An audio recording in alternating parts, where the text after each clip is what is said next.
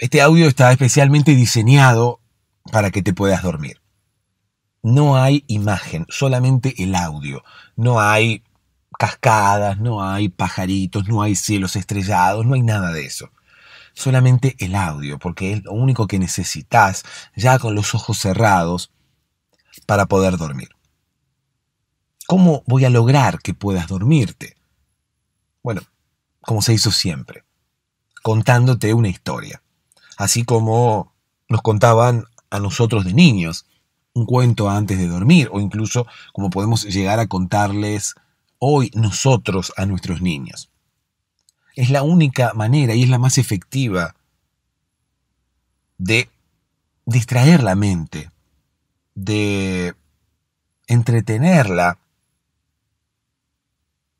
para que luego sienta que no hay nada más importante para hacer ni para pensar más que dormir. Así es como me vas a escuchar decir un montón de cosas que parece que no tuvieran sentido. Me vas a escuchar hablar de, de muchas cosas que quizás no tienen relación entre sí. Me vas a escuchar contar historias quizás disparatadas, delirantes, incluso cómicas la mayoría de las veces, risueñas para que puedas dormirte con una sonrisa. Pero no estoy loco. Incluso vas a escucharme dar muchas vueltas antes de contarte la historia, antes de comenzar con la historia. Pero está diseñado así. Es todo a propósito. Toda esa aparente desconexión, todo ese aparente delirio es justamente el que va a lograr distraer primero y luego aburrir tu mente para que te puedas dormir. ¿No me crees? Escúchame y comprobalo. Buenas noches. Muchas gracias por mm, todo este contenido que aunque yo sea muy mm, reciente en, tu, gran lista de fans, em, espero que estés mucho tiempo por aquí y que nos ayudes a dormir. Un abrazo desde España. Hola, ¿cómo estás? Espero que ya estés en posición horizontal, espero que ya estés con los ojos cerrados, espero que ya estés a punto de quedarte dormida, a punto de quedarte dormido. Espero que hayas sintonizado este podcast, espero que le hayas dado play a este podcast en el preciso instante en el cual estabas por dormirte o querías dormirte, porque al fin y al cabo, bueno, uno nunca sabe cuándo es el preciso instante en el cual uno está por dormirse. Sabe sí cuando quiere dormirse, pero bueno, esas cosas sabemos que uno puede llegar a decidirlas, pero depende de su mente para poder apagarse o para poder ponerse en stand-by. Eh, al fin y al cabo, bueno, es como que uno decide irse a dormir con su mente. Y su mente es la misma que a uno no lo deja dormir. Es por eso que hago este podcast. Eh, esa mente tan bipolar, por decirlo de alguna manera, o esa mente que debe ser de, de Géminis, ¿no? Más que nada por el tema de la doble personalidad y demás. Esa misma mente que todos los días intenta eh, jugarnos una broma. Esa mente que todos los días se ríe de nosotros cuando por un lado decide irse a dormir y por otro lado decide que no vamos a dormir es momento de decidir engañarla nosotros a ella. Es por eso que hago este podcast, reitero, para engañar a esa mente que vive engañándonos y vive riéndose de nosotros. Esa mente que es de Géminis y esa mente que tiene esa doble personalidad. Quizás la mente ni siquiera se entere que tiene esa doble personalidad y que por un lado decide que nos vayamos a dormir y por otro decide que no es momento de dormir. Quizás la mente no tenga esa doble personalidad, quizás eh, sean dos mentes las que conviven en nuestra cabeza, quizás la mente sí tenga doble personalidad, pero sea como esas películas en las que uno tiene doble personalidad pero no se entera. Uno tiene como dos eh, almas, como dos personas conviviendo en su cuerpo y dependiendo de la situación sale una o sale otra, dependiendo de la situación eh, se hace presente una, se, sale al, exterior una, se puede interactuar con una o con la otra. Eh, al fin y al cabo, bueno, es bastante real lo que proponen esas películas porque, claro, uno no puede interactuar con dos personas al mismo tiempo dentro de un mismo cuerpo, sería imposible. ¿Cómo uno va a poder eh, interactuar con dos personas que están en el mismo cuerpo? Cuando quiere hablar una o cuando quiere hablar otra, ¿cómo sabemos con cuál de las dos estamos hablando? Bueno, quizás todos un poco tengamos dos personalidades dentro del cuerpo, dos personas quizás dentro del cuerpo, que coexisten y que eh, ninguna de las dos sabe de la existencia de la otra. Entonces, bueno, quizás nuestra mente sea algo así como la recreación aquí en la Tierra y más precisamente en nuestro cuerpo de esas historias que habitualmente vemos en películas y eh, haya dos mentes o la mente tenga, como quien dice, dos eh, mentecitas dentro y que, bueno, eh, sea como una especie de, ángel y demonio, ¿viste? Como esos ángeles y demonios que podemos llegar a tener eh, uno a nuestra izquierda y otro a nuestra derecha, uno aconsejándonos que obremos de la mejor manera y otro aconsejándonos que obremos de la peor manera, quizás. Eh, no siempre el demonio nos, nos aconseja que obremos de la peor manera. muchas veces el demonio nos aconseja que obremos de la manera que no le gusta al ángel, ¿sí? O sea, que no necesariamente es la peor. Muchas veces el ángel es un poco más conservador y el demonio es un poco más arriesgado, pero arriesgado. No sé si se entendió lo que dije. Arriesgado, no arraigado. Eh, pero no siempre los consejos del demonio pueden llegar a ser eh, malos. Bueno, eh, no nos vayamos de tema. pensemos en una mente que tiene quizás una doble personalidad. Pensemos en una mente de Géminis, que quizás haya dos mentes ahí coexistiendo dentro de nuestra mente y que una quiera dormirse y la otra no. Y eh, no se enteren entre ellas. Quizás la mente no lo hace a propósito. Quizás la mente no, no es que se ría de nosotros, sino que son dos mentes, una que quiere dormir y la otra que no y así como al mejor estilo película de Hollywood, eh, aparezca una mente eh, en determinados momentos y aparezca otra mente en determinados momentos, sin que una se entere de la existencia de la otra, sin que una pueda controlar a la otra. Dos mentes independientes. Esa sería la explicación más científica, me parece.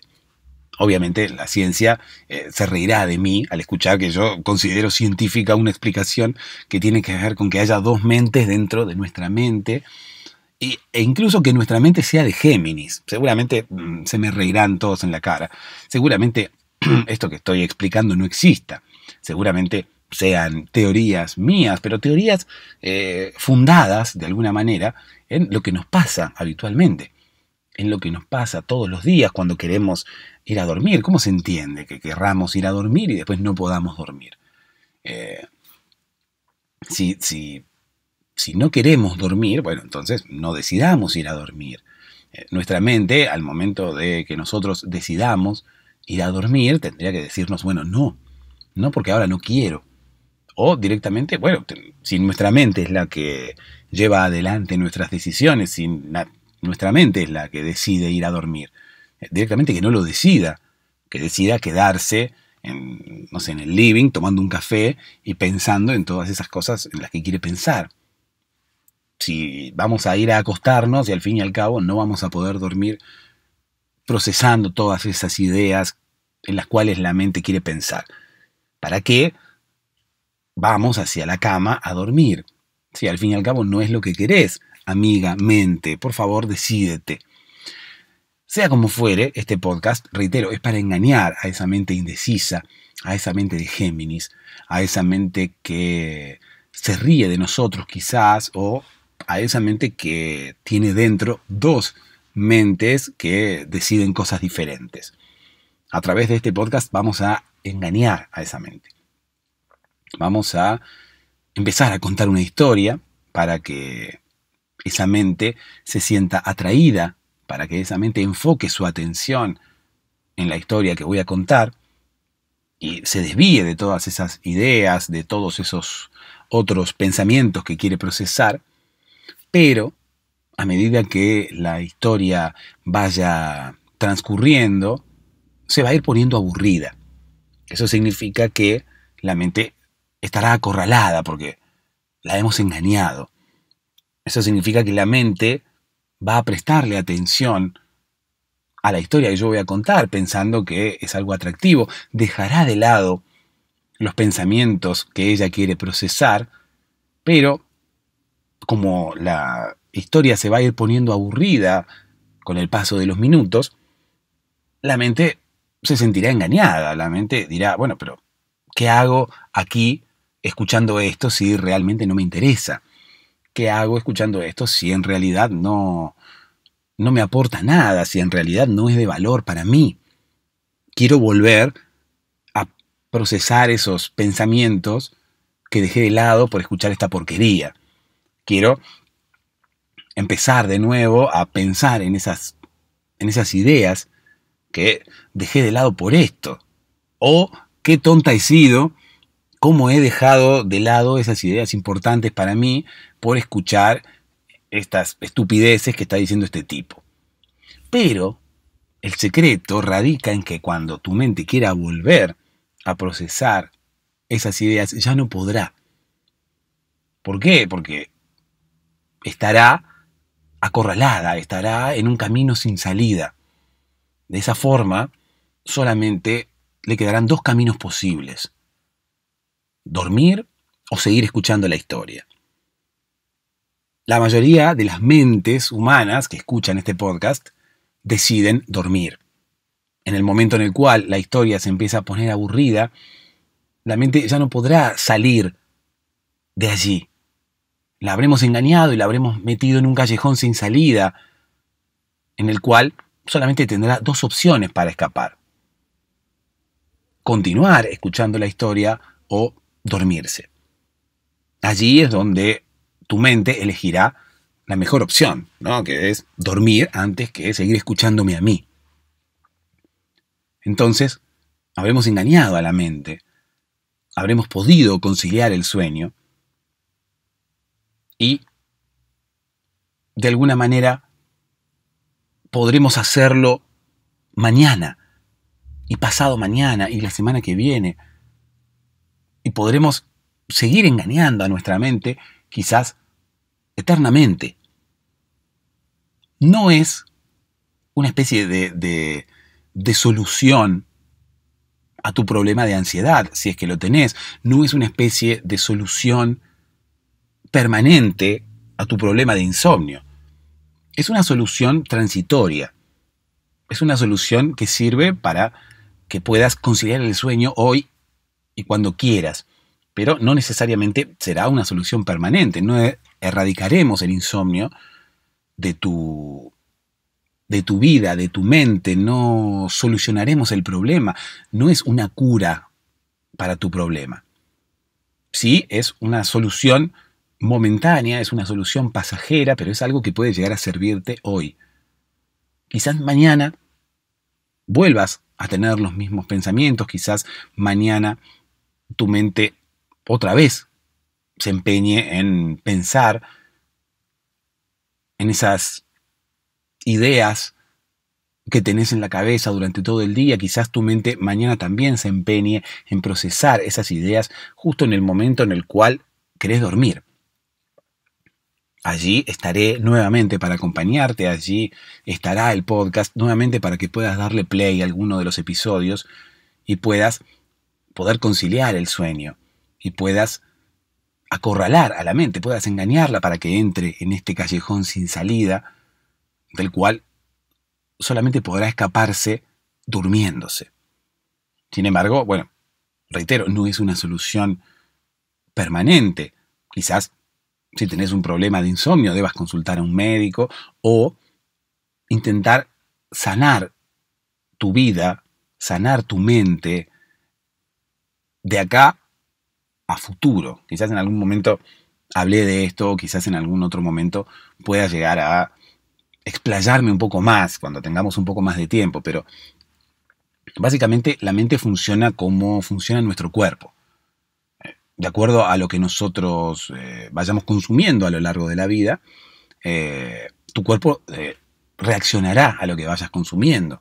Nuestro cuerpo es alimentado con determinadas sustancias, ¿no? Nosotros comemos una cosa, la otra, comemos, eh, qué yo, proteínas, carbohidratos, vitaminas y demás, y de acuerdo a cómo nos vayamos alimentando, eh, nuestro cuerpo funcionará de una manera o de otra. Cuanto mejor nos vayamos alimentando, mejor va a funcionar nuestro cuerpo. Si nosotros nos alimentamos de una forma un poco más sana, obviamente nuestro cuerpo funcionará mejor y eh, si hacemos lo contrario, obviamente nuestro cuerpo no funcionará del todo bien y seremos propensos a contraer enfermedades o, qué sé yo, nuestro cuerpo eh, tendrá dificultades para eh, funcionar correctamente. Bueno, con la mente pasa exactamente lo mismo. Ocurre que lo que nosotros consumimos en lo que tiene que ver con la mente no son alimentos, sino que tiene que ver con información. Tiene que ver con lo que escuchamos y con lo que vemos tiene que ver con lo que leemos, tiene que ver con lo que consumimos, tiene que ver con lo que decidimos leer, con lo que decidimos escuchar, con lo que decidimos mirar. Obviamente que hay un montón de otras cosas que ya nos vienen de fábrica, como quien dice. Hay un montón de ideas que tenemos dentro de la cabeza que nos fueron transmitidas genéticamente hay un montón de cosas que heredamos de nuestros padres o de situaciones vividas cuando éramos niños y cuando no teníamos control de nuestra vida, cuando nuestros padres elegían qué es lo que nosotros eh, consumíamos, en lo que tiene que ver con lo mental, reitero, no con lo que comíamos, sino con lo que escuchábamos o veíamos. Hoy, ya somos adultos, podemos nosotros mismos elegir qué es lo que vemos y qué es lo que escuchamos todo lo que nosotros vayamos a ver o a escuchar será el alimento de nuestra mente, así como lo que comamos eh, será el alimento de nuestro cuerpo y el cuerpo lo utilizará para poder funcionar mejor o peor. Nuestra mente también utiliza lo que nosotros le damos de comer, como quien dice. Nuestra mente utiliza lo que nosotros vemos, escuchamos, lo que consumimos, lo que decidimos leer, lo que decidimos mirar en televisión, en YouTube, lo que decidimos escuchar en la radio, lo que decidimos hablar con los demás. Obviamente lo que vayamos a decidir hablar con los demás también dependerá de quiénes son esos demás con los cuales hablemos, lo que significa que también las conversaciones que tengamos o lo que vayamos a hablar depende de con quién estemos hablando. Y con quién estemos hablando va a depender de quién decidamos rodearnos. Todo eso va a influir en lo que nosotros ingerimos, en lo que nosotros consumimos, en lo que nosotros decidimos ingresar a nuestra mente. Y eso va a ser lo que en un futuro va a determinar qué tipos de pensamientos vamos a tener, qué tipo de pensamientos vamos a tener todos esos pensamientos que nosotros vayamos a tener en el futuro van a determinar nuestra estabilidad, nuestra paz mental o quizás algún tipo de trastorno que podamos llegar a tener. Las ideas que nosotros metemos en nuestra cabeza, reitero, ya sea a través de la televisión, a través de lo que vayamos a leer, a través de lo que consumamos en internet o lo que fuera, todas esas ideas la mente las almacena y luego las utiliza. Todos aquellos miedos, eh, todos aquellos eh, eh, malos pensamientos que podamos llegar a tener hoy son originados por lo que hayamos consumido en el futuro, en el pasado.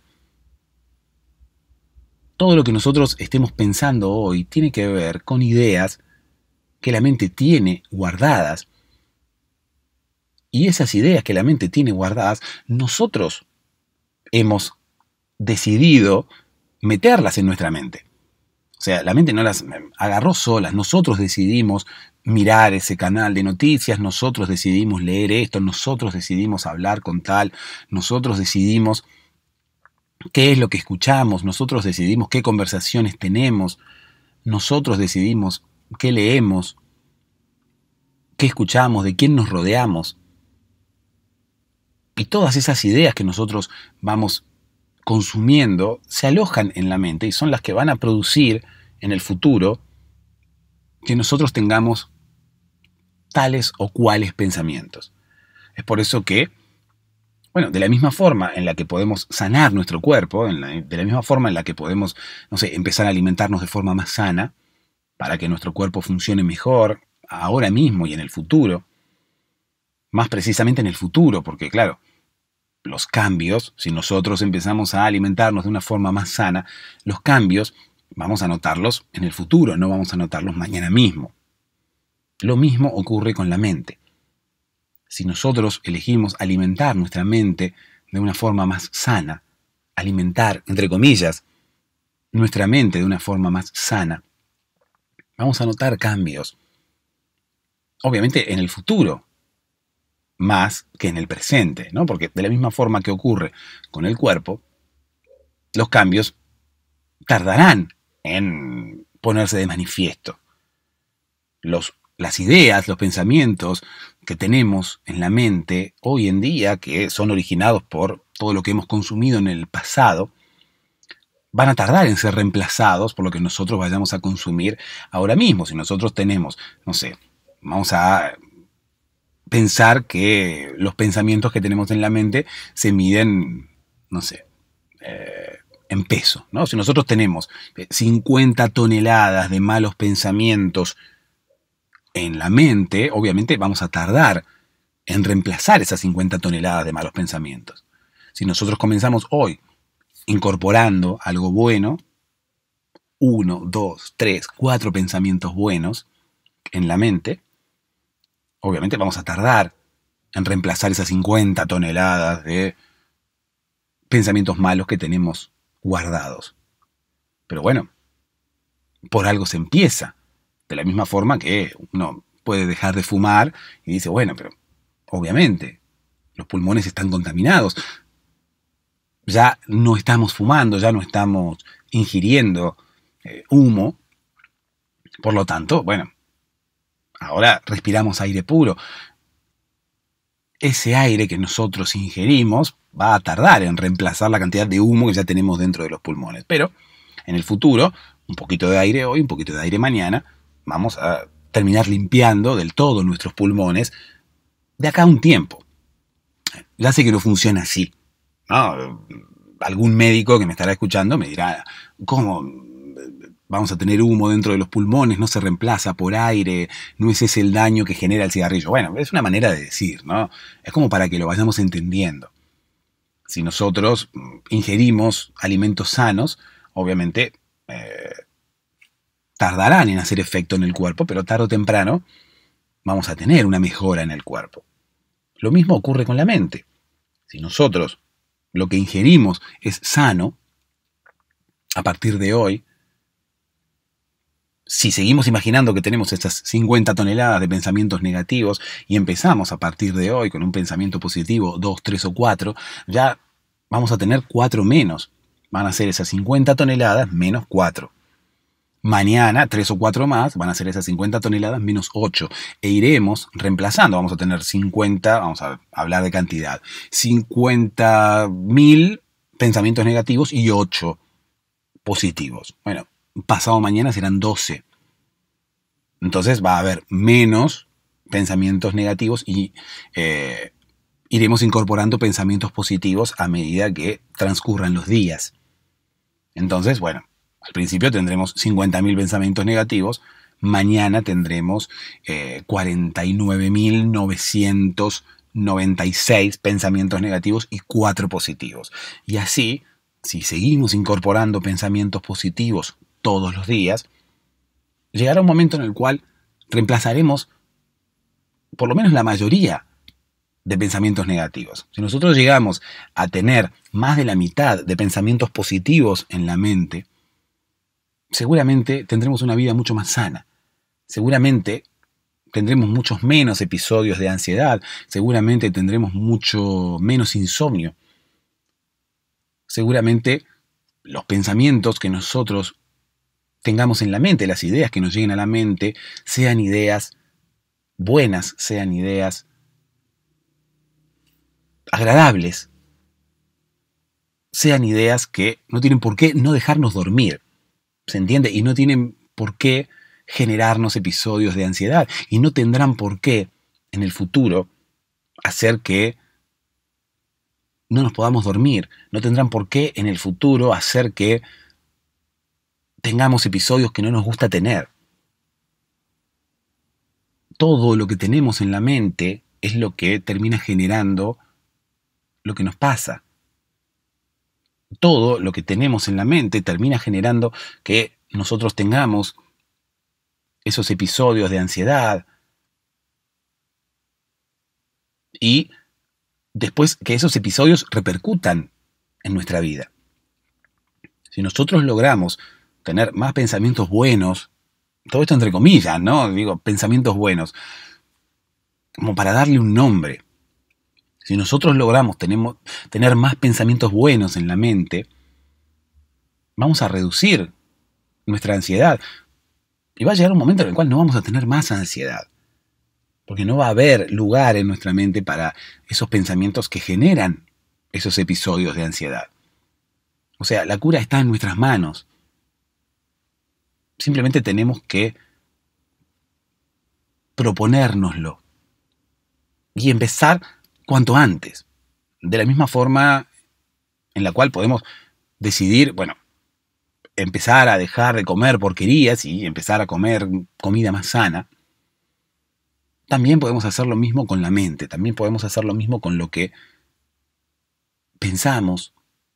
Y para hacer eso con lo que pensamos, tenemos que decidir qué consumimos, porque toda la información que le metamos a nuestra mente será la que luego va a definir qué es lo que pensamos. ¿Se entiende? No me quiero extender más porque podría estar hablando un montón de tiempo sobre esto y, y, bueno, quizás sirva, pero bueno, al fin y al cabo no es el objetivo del episodio del día de hoy si quieren que siga hablando de esto, bueno, pueden decírmelo. Mi número telefónico está allí en la descripción del episodio. Saben que pueden comentar en YouTube también, como para comunicarse conmigo, seguirme en Instagram. Podemos tener un contacto y me pueden decir si les interesa realmente que hable sobre la ansiedad y sobre las formas que tenemos de curar nuestra ansiedad, porque al fin y al cabo está en nuestras manos. Esto no significa que los tratamientos psicológicos y que los profesionales no, no hagan bien su trabajo o que el trabajo de los profesionales no sirva. Sí, sirve y mucho. Pero la cura está en nuestras manos, la solución está en nuestras manos. Mientras tanto, obviamente, que podemos acudir a un profesional, podemos iniciar un tratamiento, podemos intentar mejorar nuestra ansiedad, nuestro insomnio, pero nosotros tenemos la cura en nuestras manos. Nosotros podemos tener un cuerpo que funcione perfectamente y una mente que funcione perfectamente. Simplemente es cuestión de saber cómo nos alimentamos, tanto corporalmente como mentalmente déjenme que le envíe un beso muy grande a Mamen, que nos habló desde España. Ella hablaba de que, si bien es una seguidora del podcast, o por lo menos escucha el podcast, ella hablaba que era una, una, seguidora muy nueva. Bueno, ya no debe ser una seguidora muy nueva, porque ya eh, viene escuchando el podcast desde hace un tiempito, pero hablaba de una gran cantidad de fans. Yo no sé si este podcast tiene una gran cantidad de fans realmente. Eh, a mí me encanta que seamos cada día más, ¿no? Los que escuchamos este podcast. Porque esto significa que lo que hacemos aquí le está sirviendo a más gente. ¿no? No sé si, si, una gran cantidad de fans, como dice Mamen, a quien le agradezco un montón, ¿no? Que diga eso porque realmente me llena de orgullo. Si es que realmente es así, me llena de orgullo. Y si no es así, bueno, no importa. seamos la cantidad que seamos, estamos aquí todos por una misma razón, ¿no? Y es para poder dormirnos. Y, el mensaje de Mamen tiene que ver con sentir que no estamos solos. Yo ya lo he dicho muchas veces, está mi número telefónico allí en la descripción de este episodio. Todos aquellos que quieran comunicarse conmigo y, quieran además enviarme un audio, sería ideal, porque yo lo puedo poner aquí en el podcast y toda aquella gente que está escuchando este podcast puede saber de voz de ustedes, o sea, a través de la voz de ustedes, que no están solos. Ahora mismo que estás queriendo dormirte y no estás pudiendo lograrlo, no sos la única persona en el mundo a la que le está pasando eso, sino todo lo contrario. Somos muchísimas personas que ahora mismo no nos podemos dormir. Y con los audios de ustedes, los audios que me envían a través de WhatsApp, los mismos audios que escuchamos aquí en el podcast, como es el caso del audio que, que envió Mamen, son los que de alguna manera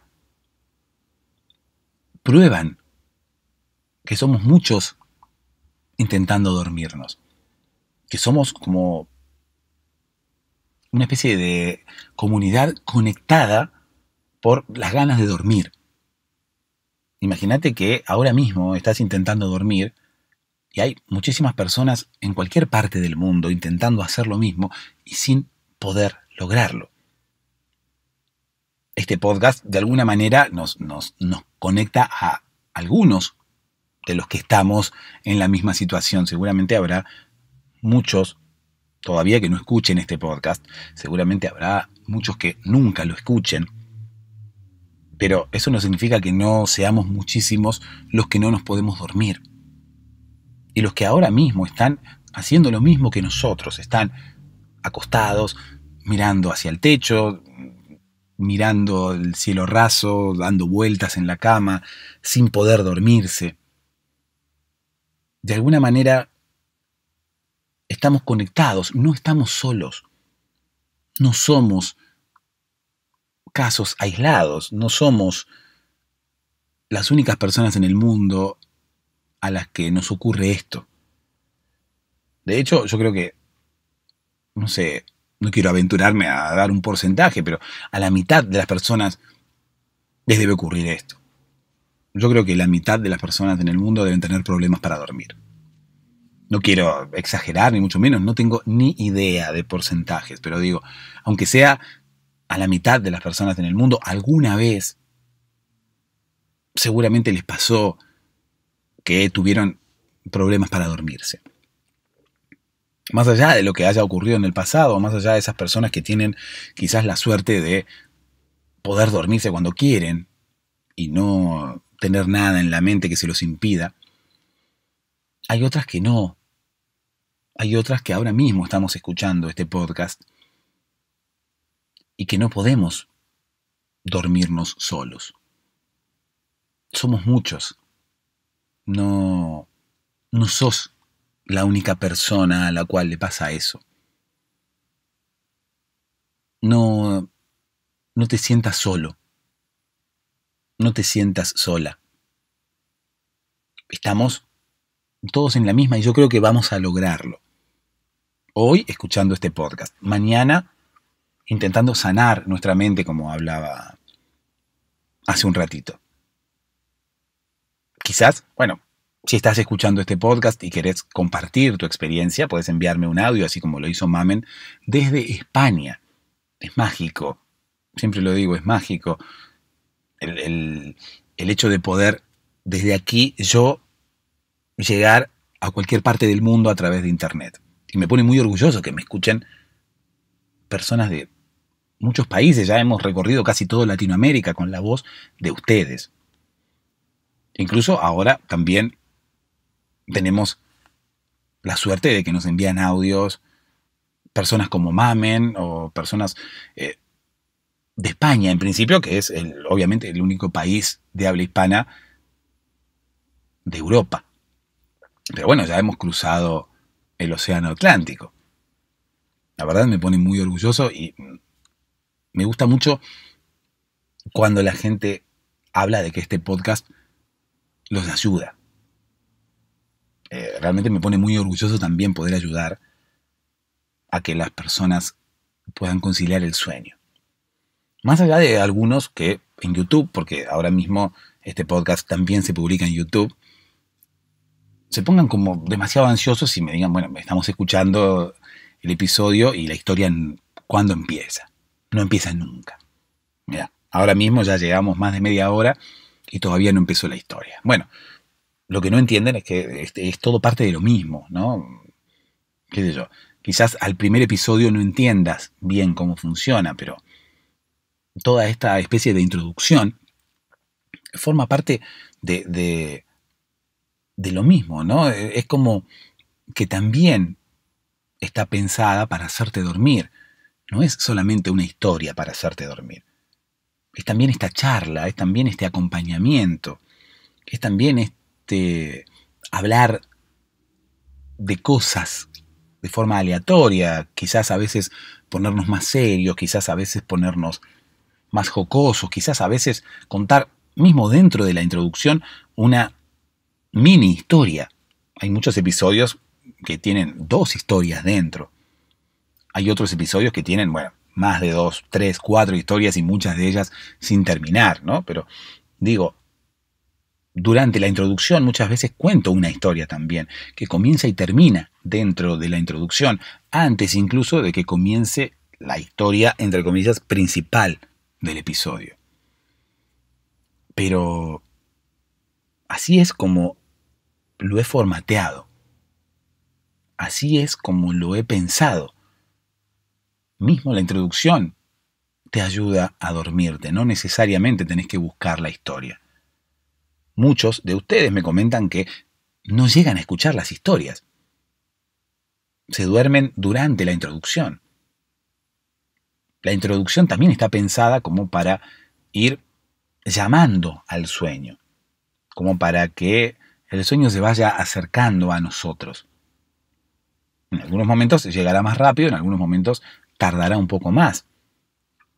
Pero bueno, mi voz, la introducción, los desvaríos, las, las temáticas errantes, cómo cambio de tema, me voy de un lugar a otro, a veces, otras veces, como hoy quizás nos enfocamos en un solo tema. Todo eso ayuda a inducir el sueño. No solamente la historia, no solamente el cuento. Pero bueno, qué sé yo. Hay personas que vienen a YouTube por lo menos a buscar un cuento. Un cuento para dormirse. Porque les gusta escuchar una historia. O vienen a escuchar una historia. Punto. Y no vienen a buscar un, un podcast como este, quizás con una introducción y con, con todo esto. Vienen a escuchar una historia. Bueno, quizás para ellos empiece a hacer también episodios en los que comience la historia un poco más temprano, como quien dice. Quizás eh, para ellos empiece a hacer episodios en los que eh, intente contar solamente una historia, sin introducción. Voy a ver si intento hacerlo y hasta quizás eh, publicaré esas historias en una categoría nueva que veo que se ha puesto en, en Spotify que dice cuentos directamente.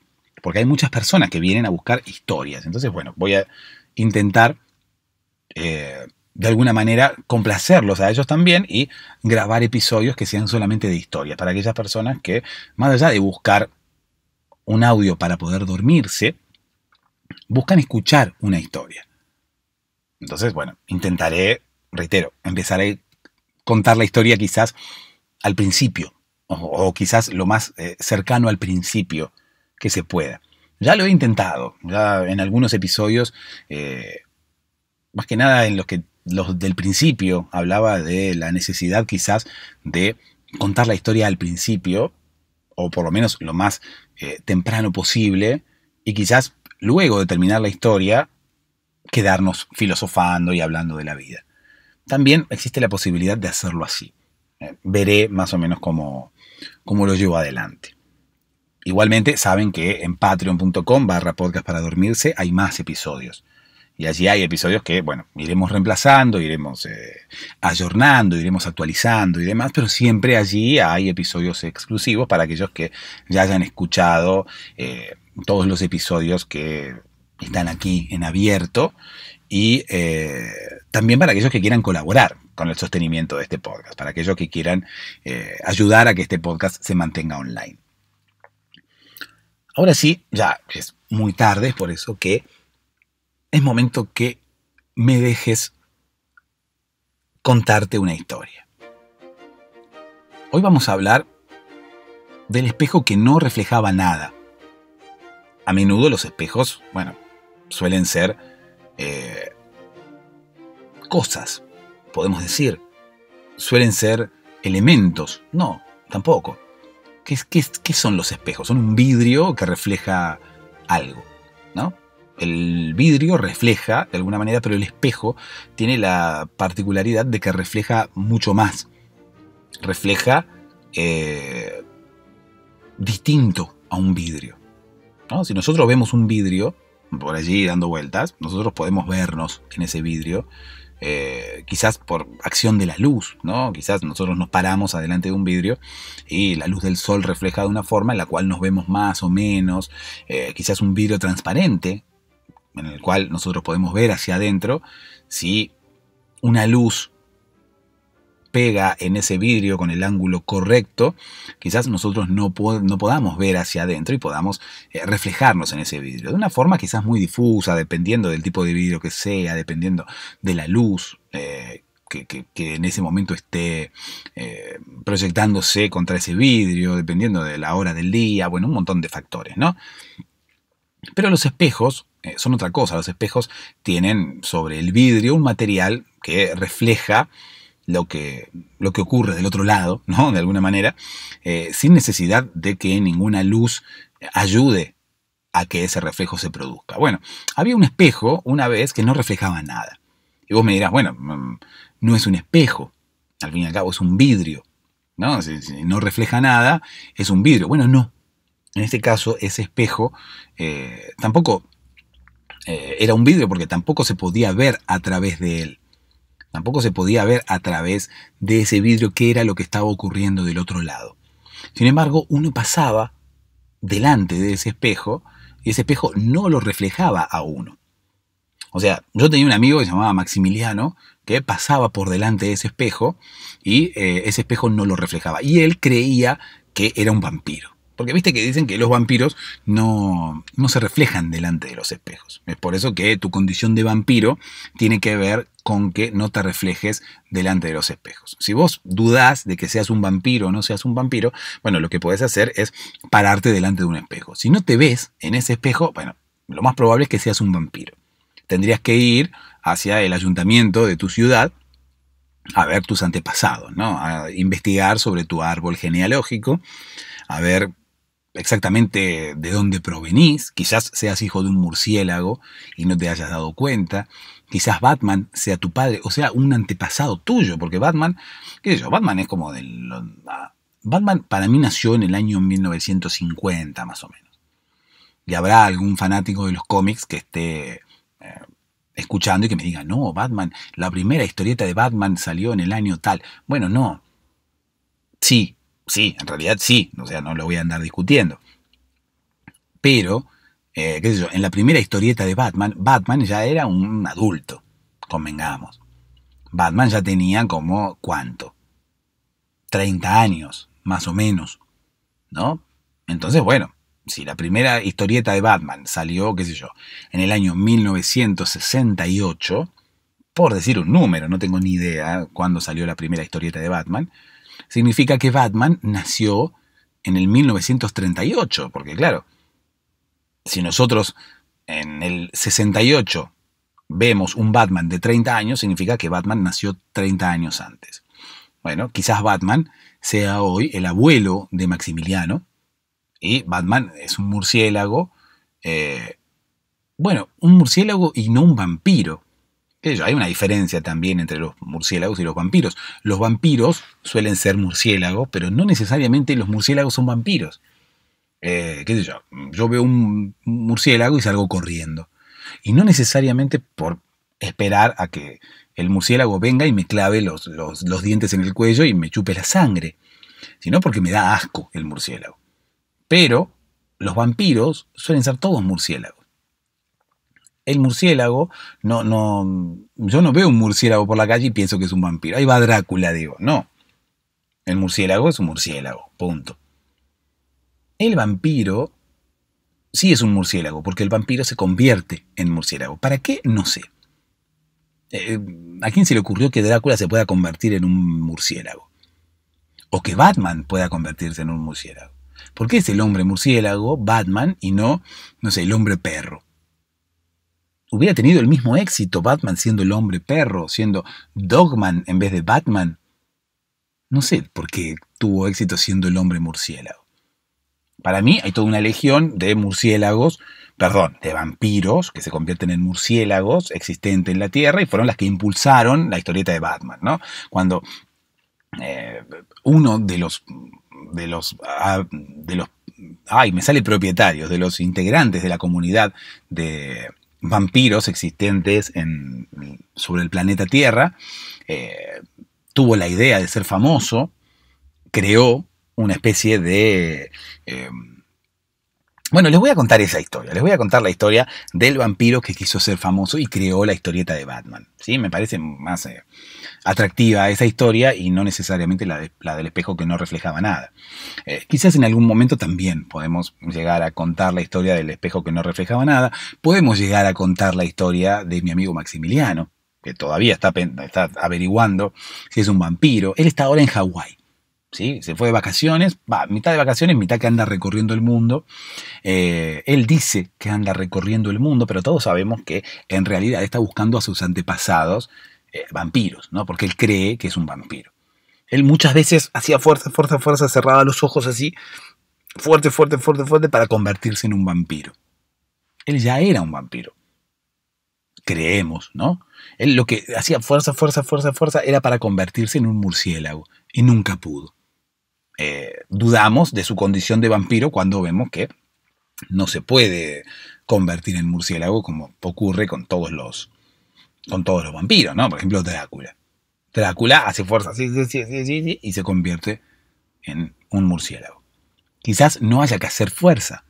Quizás no tenga que ver, eh, no sé, convertirse en, en, murciélago con hacer fuerza. Quizás sea otra forma. ¿Qué sé yo? Harry Potter, por ejemplo. Harry Potter para hacer magia tenía que eh, enfocar sus pensamientos de una determinada manera.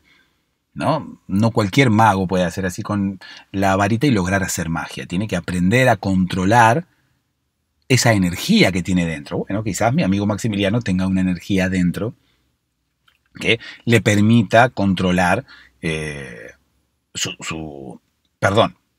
Quizás mi amigo Maximiliano tenga una energía adentro que tenga que aprender a controlar. De esa manera, bueno, después le, va, le será fácil convertirse en murciélago, pero no ahora. Para mí, el hecho de convertirse en murciélago tiene que ver con... Eh, es muy parecido a andar en bicicleta. ¿no? Nosotros, aquí seres humanos, cuando niños nos enseñan a andar en bicicleta y aprendemos a andar en bicicleta, aprendemos a hacer equilibrio, aprendemos a, pedalear, ¿no? una pierna primero, la otra después y demás. Pero los vampiros, cuando son niños, ellos aprenden a convertirse en murciélagos. Esa es una de las enseñanzas más eh, directas que le pueden llegar a dejar sus padres, ¿no? Niño, eh, vístete que hoy te voy a enseñar a convertirte en murciélago. Sí, gracias papá, qué sé yo. Después, cuando los niños mm, vampiros son un poco más eh, adolescentes, un poco más grandes, ya los padres les enseñan a manejar y demás. Pero bueno, al principio les enseñan a convertirse en murciélagos. No por nada, los niños vampiros no saben andar en bicicleta. ¿Por qué? Porque los padres no les enseñan a andar en bicicleta los padres les enseñan, en el momento en el cual los seres humanos estamos enseñando a nuestros niños a andar en bicicleta, los eh, padres vampiros están enseñando a sus hijos a convertirse en murciélagos. Y así es como se desarrolla la vida del vampiro. El vampiro nunca aprende a andar en bicicleta, ¿por qué? Porque esa parte de la vida la pierde. El momento en el cual nosotros como padres le enseñamos a nuestros hijos a andar en bicicleta, el vampiro no tiene esa parte. El vampiro niño, su padre, se ocupa de enseñarle otra cosa. Y cuando termina, cuando el niño ya aprende a convertirse en murciélago, ya se olvida que quería andar en bicicleta. De hecho, creo que el niño vampiro nunca quiere andar en bicicleta. Como que no, no sabe los placeres de andar en bicicleta, por lo tanto nunca le ha pedido a su padre eh, andar en bicicleta. Hubo una vez que un niño vampiro le pidió a su padre que él enseñara a andar en bicicleta. Y ahí, bueno, obviamente se creó una grieta espacio-tiempo en el mundo en el, en el cual, bueno, los seres humanos empezaron a convivir con los murciélagos, con los vampiros, mejor dicho, ¿sí? Pasa que hay mucho vampiro que anda por la vida disfrazado de murciélago para poder meterse en los taparrollos de las persianas, de las cortinas y demás. son los vampiros bastante... El vampiro en sí mismo es bastante fisgón. ¿Sí? Es un vampiro bastante, bastante chusma, por decirlo de alguna manera. El vampiro eh, la mayoría de las veces se convierte en murciélago solamente para espiar a la gente. Se mete por ahí por las cortinas y empieza a espiar a la gente a través de los agujeritos que tienen las cortinas. ¿sí? Las cortinas eh, que tapan las ventanas, ya sean plásticas, ya sean de madera o algo, siempre tienen agujeritos. Entonces el vampiro, eh, ya por ser vampiro, ya es medio chumba. Entonces empieza a espiar por ahí. Hay personas que piensan que, bueno, el vampiro se convierte en murciélago y viene a espiarte a través de la cortina para ver si tenés un cuello un poco atractivo, ¿no? Para ver si eh, puede o, le conviene clavarte los dientes y chuparte la sangre, qué sé yo. No sé cómo lo saben. Hay gente que te ve así ya por, cómo tenés el cuello ya se da cuenta de si es un cuello atractivo o no, de si es un cuello que tiene un poco de sangre o no. Hay gente que no tiene sangre en el cuello, hay gente que tiene el cuello muy finito. Por ejemplo, la jirafa. La jirafa no tiene sangre en el cuello. Imagínate la cantidad de presión. Por ejemplo, la presión de la sangre de la jirafa es mucho mayor que la sangre de la presión de la sangre humana. ¿no? Porque, claro, para subir la sangre hasta la cabeza de la jirafa, imagínate, bastante, bastante más presión tiene que tener la jirafa que el ser humano porque es como que hay que llegar hasta allá arriba, ¿viste? Hay como que empujar bastante fuerte. Sin embargo, vos podés pensar, bueno, mira, todo el recorrido que hay, la jirafa tiene mucha sangre en el cuello. Bueno, no. La jirafa no tiene tanta sangre porque al, meterle más presión a la sangre, la sangre eh, sube mucho más rápido a la cabeza de la jirafa. Entonces cuando viene el vampiro ahí, clava los dientes en el cuello de la jirafa, se encuentra con que no hay. O sea, el, vampiro es mucho más lento para cravar los dientes que la sangre para subir. Entonces cuando llega el vampiro al cuello de la jirafa, clava los dientes así, hace. Porque pues ya no hay sangre. Solamente hay aire en el, en el cuello de la jirafa. Es como que si pudiéramos reproducir ese momento en cámara lenta, viene un vampiro, clava los dientes en el mismo momento en el cual está clavando los dientes, la sangre está pasando. Y cuando el vampiro termina de clavar los dientes en el cuello de la jirafa, la sangre termina de pasar. Por lo tanto, el vampiro no llega a, encontrarse con la sangre. La sangre es mucho más rápida que el vampiro, mucho más rápida que la mordida del vampiro. Incluso la velocidad de la sangre de la jirafa supera la velocidad de la luz. Todos lo sabemos. La velocidad de la luz es solamente superada por la velocidad de la sangre subiendo a la cabeza de la jirafa. Eh, es como más o menos cuando tenemos que subir una loma, una montaña, una, pendiente muy alta con el auto, ¿no? Entonces tenemos que tomar envión y venir como ya con una velocidad bastante importante desde antes, ¿no? Como para subir rápido. Porque si no, bueno, dependiendo de la fuerza que tenga el auto, puede llegar a subirla, pero le va a costar mucho. Es mejor venir como con inercia. Bueno, con la sangre de la jirafa pasa lo mismo, ¿no? Hay que darle como un empujón, tiene que venir como con velocidad de antes para ¡pum! subir y llegar eh, con fuerza a la cabeza de la jirafa porque es bastante el, tramo, ¿no? Es bastante como la distancia que tiene desde la parte eh, baja del cuello hasta la parte alta del cuello, incluso para llegar a la cabeza de la jirafa. La jirafa, bueno, no tiene una cabeza muy grande tampoco, es poquita la cantidad de sangre que sube. Por eso los eh, vampiros, bueno, no les, como que no les interesa demasiado el cuello de la jirafa. En fin, ¿qué historia estaba contando? Ya me perdí. Eh, estaba contando la historia del vampiro que quería andar en bicicleta. El vampiro que quería andar en bicicleta. Bueno, eh, yo les conté que el vampiro no, no conoce la bicicleta. Los padres de los vampiros ocupan el mismo momento en el cual los humanos le enseñamos a andar en bicicleta a nuestros hijos. Ellos ocupan ese momento eh, enseñándoles a sus hijos a convertirse en murciélagos. Bueno, hubo un vampiro que cambió toda la historia de los vampiritos. ¿Por qué? Porque el vampiro asistía a la misma escuela que mm, la mayoría de los seres humanos, ¿no? Porque los vampiros están aquí dentro de... Este, conviven con nosotros sin que nosotros sepamos que ellos son vampiros. Entonces una vez el vampirito vio que uno de sus compañeritos de la escuela tenía una bicicleta, ¿no? Y iba al colegio en bicicleta. Llegaba en bicicleta, la ataba ahí afuera en un palo y eh, después cuando se iba la desataba y se iba en la, bicicleta. Bueno, y nuestro amigo vampirito eh, es como que le llamó la atención eso, que tenía dos ruedas y que tenía un asiento. Le pareció como un invento mágico. ¿Qué es eso? que eh, Juan Manuel utilizaba todos los días para llegar y para, para ir y para retirarse del colegio. Un día se acercó y le dijo, Juan Manuel, discúlpame, ¿qué, ¿qué nombre tiene ese vehículo que utilizas para llegar hasta, hasta el colegio, venir aquí, instruirte con nosotros? Em, estudiar, aprender, incorporar conocimientos nuevos y luego retirarte te parecerá raro como hablaba el vampiro, pero bueno, los vampiros suelen ser bastante educados, ¿no? Sus padres suelen transmitirle ese tipo de conocimientos como para que ellos puedan eh, hablar y expresarse y dirigirse a sus compañeros de una forma muy correcta, ¿no? El vampiro es una persona muy correcta siempre. Juan Manuel entendió la mitad de lo que el vampirito le dijo, pero bueno, más o menos entendió cuál era el concepto. Le dijo, esto se llama bicicleta y ahora no me jodas porque me tengo que ir rápido. Eh, tengo que ir a tomar la leche, le dijo. Se subió a la bicicleta y se fue. Y el vampirito, bueno, se quedó con los ojos abiertos, como el 2 de oro, ¿viste? La carta española del 2 de oro, que es un, un círculo así grandote, dos círculos grandotes. Bueno, creo que ya alguna vez lo expliqué. Entonces volvió a su casa, ¿no? Volvió a su casa y le dijo a su padre vampiro, eh, le dijo, padre, eh, he descubierto que un compañero mío llamado Juan Manuel, bautizado así por sus padres, eh, porque bueno, vampiro reitero, era bastante educado incluso con sus padres, ¿no? De hecho, era más educado con sus padres que con algún tercero.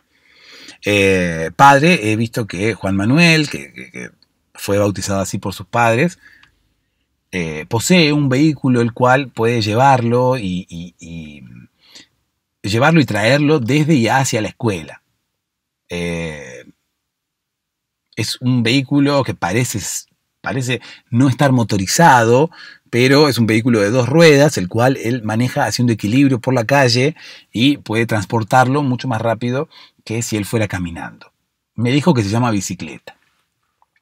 Sí, le dijo, hijo, eh, las bicicletas existen, son un invento de los seres humanos, eh, pero bueno, eso lo aprenderás cuando crezcas.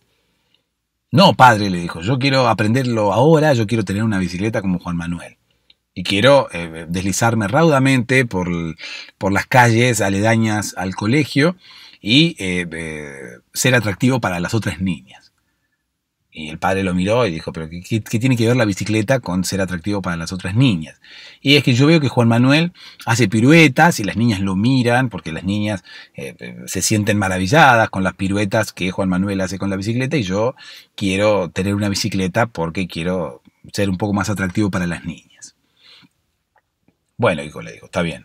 O sea, el objetivo de Vampirito no era eh, aprender a andar en bicicleta, sino era poder gustarle a las niñas, ¿no? Las hormonas de vampiritos ya estaban bastante desarrolladas, porque las hormonas de los vampiros se desarrollan un poco más rápido que las de los seres humanos. Entonces Vampirito ya estaba mirando a las niñas del colegio con ganas. Entonces, bueno, las niñas parece que eh, gustaban de las piruetas que Juan Manuel hacía con la bicicleta y Vampirito quería hacer más o menos las mismas piruetas. Y así fue como, bueno, eh, su padre, Vampiro, le dijo, está bien, hijo, eh, te compraré una bicicleta y te enseñaré a andar en bicicleta. De esta manera, bueno, los mundos eh, humano y vampiro terminarán, como quien dice, fusionándose y tú podrás ser el primer vampiro que aprenda a andar en bicicleta eh, casi, casi en el mismo momento que aprenden eh, los seres humanos. Porque los seres humanos aprenden más o menos a una determinada edad, que es la edad en la cual nosotros estamos aprendiendo a convertirnos en murciélagos. Sin embargo, bueno, yo te enseñaré a andar en bicicleta ahora mismo llegarás un poco tarde eh, a la enseñanza, aprenderás a andar en bicicleta un poco después que tus amigos, pero bueno, aprenderás a andar en bicicleta, eh, ya como sabes eh, convertirte en murciélago y volar, podrás utilizar esa destreza como para hacer piruetas mucho mejores que las de Juan Manuel y seducir a más niñas de tu colegio, ¿no? Y de esa forma, bueno, podrás tener tantas novias como se te ocurra, ¿no? Así como Batman. Eh, yo quiero tener tantas novias como Batman, le dijo el vampirito, ¿no? Porque ellos, bueno, imagínate, son, eh, para esa época ya había sido en 1968 y ya había, ya había aparecido la historieta de Batman y bueno, la historia de eh, quién creó la historieta de Batman, bueno, el cómic de Batman lo dejaré para otro episodio porque ahora ya es muy tarde. Sí, yo quiero ser como Batman, le dijo el vampirito. Bueno, eso cuando crezca. Por ahora, aprende a andar en bicicleta, haz piruetas y eh, conviértete en el objeto deseado por todas tus compañeritas. Y así fue. Vampiro le enseñó a Vampirito a andar en bicicleta. Vampirito aprendió a andar en bicicleta, se compró su propia bicicleta. Dicen algunos por ahí que se presentó en el negocio de venta de bicicletas y como él era un vampiro, bueno, el vendedor de la casa de bicicletas huyó despavorido, salió corriendo y bueno, Vampirito tuvo a su merced cualquier bicicleta del negocio que él quisiera, ¿no? Porque mm, el vendedor huyó, entonces mm, todas las bicicletas quedaron a merced de Vampirito. Vampirito eligió una y se la llevó. Aprendió a andar en bicicleta, su padre le enseñó y luego, bueno, fue al colegio con su bicicleta, ¿no? Y allí estaba Juan Manuel. Juan Manuel, que hasta ese momento era el que iba en bicicleta, iba y volvía en bicicleta, hacía las piruetas y maravillaba a todas las niñas. Pero llegó Vampirito y le llegó competencia a Juan Manuel. Juan Manuel era el único que hacía las piruetas y todas las niñas estaban enamoradas de él. Y en el momento que llegó Vampirito, Juan Manuel se alertó, ¿no? Porque se dio cuenta que Vampirito podía llegar a generarle competencia. De hecho, fue así. Vampirito empezó a hacer muchas piruetas, mejores aún por su eh, destreza vampiresca, ¿no? Porque él sabía convertirse en murciélago y demás, por lo tanto podía eh, manejarse mejor en el aire. Y bueno, las piruetas que hacía Vampirito eran mejores que las de Juan Manuel, lo que obligó a Juan Manuel a pincharle la bicicleta. Agarró un cuchillo y se lo clavó en las ruedas de la bicicleta, solamente de envidia, ¿no? Porque mm, eh, sana competencia, parece que eh, utilizó Juan Manuel para con Vampirito. Vampirito no se preocupó por esto, enseguida emparchó su bici porque su padre había eh, tomado el recaudo de también enseñarle no solamente a andar en bicicleta, sino a emparchar su bicicleta. La emparchó y siguió haciendo las delicias de las niñas del colegio, ¿no? De las niñas y de también las maestras, ¿no? Que las maestras miraban las eh, piruetas que hacía Vampirito y una que otra medio como que miraba Vampirito con ganas, ¿no? Y bueno, obviamente eh, a esa la terminaron echando, ¿no? Porque dijeron, escúchame, Vampirito es menor, por favor, ubicate. Le pegaron dos cachetazos y la echaron a la calle. Vampirito siguió haciendo piruetas, piruetas, piruetas, cada vez mejores, y obviamente Juan Manuel quedó totalmente rezagado. Juan Manuel, las piruetas de Juan Manuel eran nada al lado de las piruetas de Vampirito. ¿no? Entonces, bueno, Juan Manuel tuvo que retirarse, eh, derrotado, cabizbajo, eh, con una bicicleta eh, toda despintada, ¿no? Porque Juan Manuel quería, por lo menos, parecerse a Vampirito. Vampirito hacía unas piruetas muy osadas, muy peligrosas. Y Juan Manuel, cada vez que quería eh, imitar alguna de esas piruetas, bueno, terminaba en el piso todo despatarrado. Y bueno, muchos de esos golpes no solamente se los dio él, sino que se los dio la bicicleta también. La bicicleta terminó toda despintada, abollada, rayada, eh, bueno, una porquería. Al final, Juan Manuel supo retirarse a tiempo. Eh, reitero, lo hizo eh, derrotado, cabizbajo, pero amigándose con Vampirito. Se reconoció inferior y luego se hizo amigo de Vampirito. Vampirito siguió despertando la, curiosidad de las niñas del colegio, creció y bueno, eh, todas las niñas del colegio eh, pasaron por sus manos, ¿no? Imagínate, el chico que hace las piruetas, el chico que es popular, eh, bueno, estaban todas enamoradas de él y él aprovechó esa, esa virtud que él tenía, ¿no? Aprovechó que, estaban todas enamoradas de él y no dejó pasar ese momento.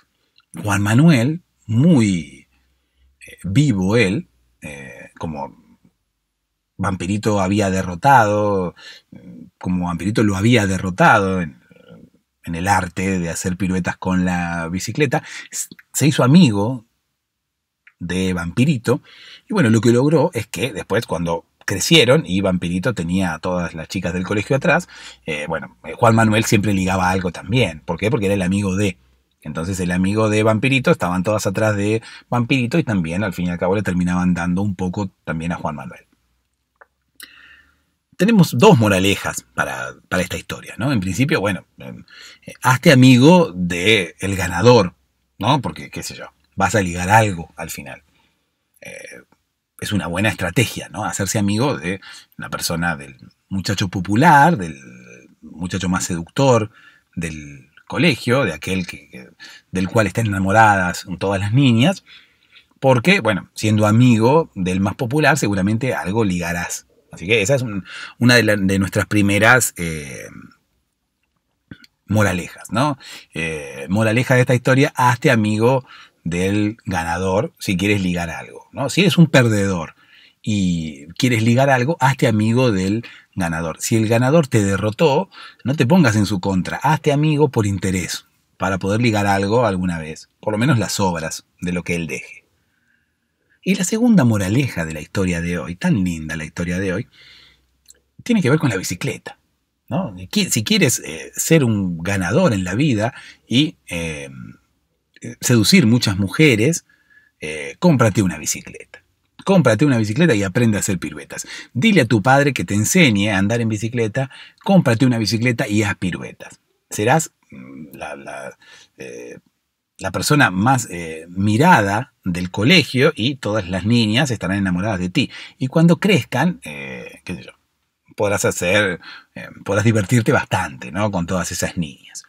Si eres una niña no sé si te conviene tanto comprarte una bicicleta. Porque, no sé, los niños no suelen mirar y enamorarse de las niñas que andan en bicicleta. Aunque uno nunca sabe lo que puede ocurrir en el futuro. ¿No es así? Permiso, eh, voy a terminar este episodio y voy a ir a comprarme una bicicleta. Dulces sueños.